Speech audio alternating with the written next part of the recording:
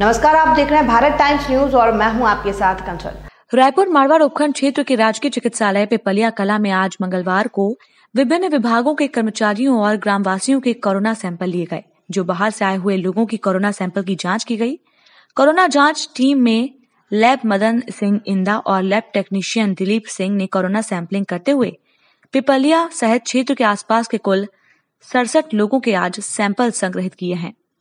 इस दौरान डॉक्टर अनिरुद्ध सिंह ने कोरोना से किस प्रकार बचाव किया जा सकता है?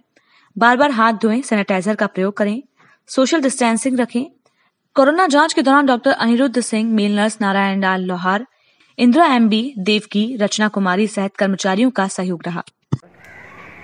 आज, गवर्नमेंट हॉस्पिटल पिपलिया कला में 67 लोगों की सैंपलिंग ली गई। कोविड की जिसके अंदर हमारे कॉन्टेक्ट ट्रेसिंग में जो थे पिछली बार जो तीन पॉजिटिव आए थे, उसमें कॉन्टेक्ट ट्रेसिंग के प्लस जो अभी बाहर से हैं, उनकी। जिसमें हमारे साथ, हमारे स्टाफ के main nurse Narayan ji Devki sister Indira sister और, उसके अलावा जो हमारे एल थे, मदन